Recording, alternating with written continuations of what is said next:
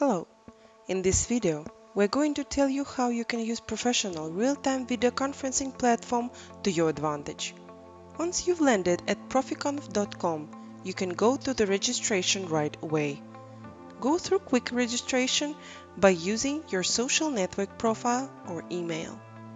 We also invite you to create your first event right now. You can start an instant event by clicking the corresponding button you immediately find yourself in a conference room. You can also create a scheduled event. Conference planning will simplify the process of preparation for the meeting.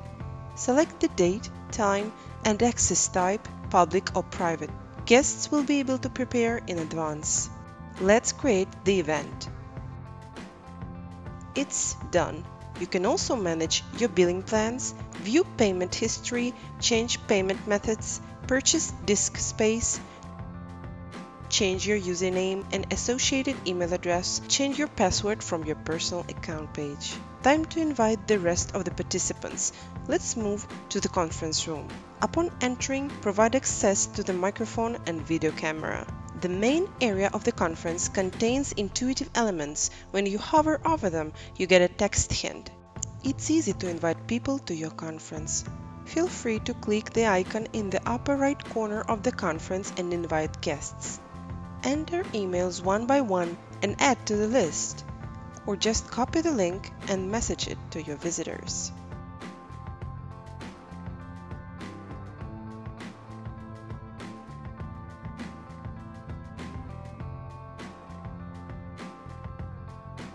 Any host can record his own conference.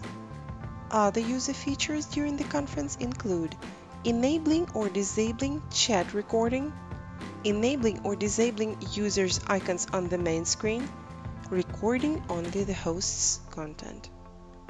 Start recording by clicking the record button in the top right corner of the conference. You can find the recorded conference in the Files section. In addition to conference recording, the speaker can also demonstrate various types of content documents, presentations, YouTube videos, photos, audio, and much more.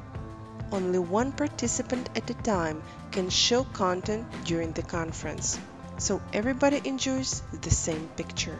Be creative, use the drawing board and all its tools. Show the screen to your participants. This will significantly improve perception and mutual understanding. ProfiConf conferences include the ability to chat.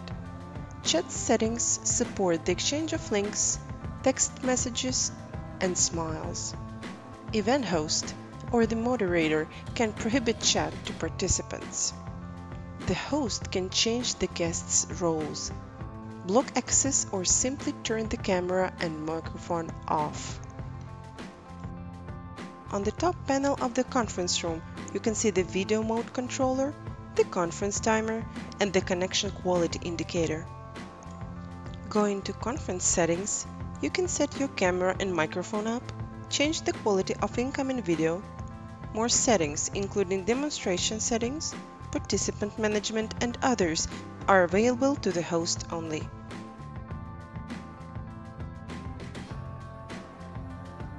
If you encounter unforeseen problems during the conference, you can contact ProfiConf support service directly from the room by clicking on the question mark in the lower left corner of the screen.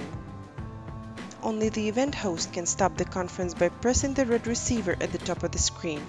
If any other participant presses this button, only he alone will leave the conference. We've covered the main functionality of ProfiConf service in this video. If you have any more questions, feel free to contact the support or email us to support at proficonf.com.